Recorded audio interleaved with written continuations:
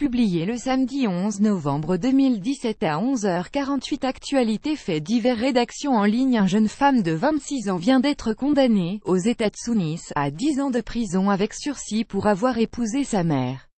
Célancy est aussi sous le coup de poursuite mais elle ne sera jugée qu'en janvier prochain. Lors de l'audience qui a eu lieu cette semaine, la jeune femme a plaidé coupable d'inceste. Sa mère Patricia Ann Clayton sera jugée en janvier, explique le magazine Tulsa.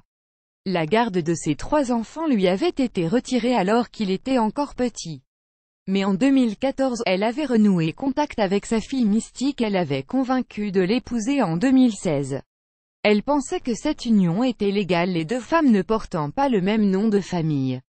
Les services sociaux ont été avertis et ont mené une enquête. Le mariage a été annulé quelques mois après sa célébration. La jeune femme écope de 10 ans avec sursis alors que la mère sera jugée en janvier. Faites dessus d'info.be la page d'accueil de votre navigateur. C'est facile, cliquez dessus.